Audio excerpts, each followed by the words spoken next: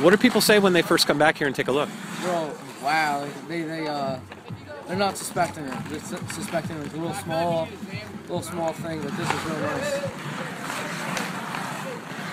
Yeah, we got the homemade Zamboni. It's just uh, it's actually an old a old hockey shaft put on a uh, a couple pieces of wood, and uh, we, we cut off an old hose, and we got a splitter, and down at the bottom. Uh, we got a rag and there's a whole bunch of holes at the bottom of the hose that you can't see.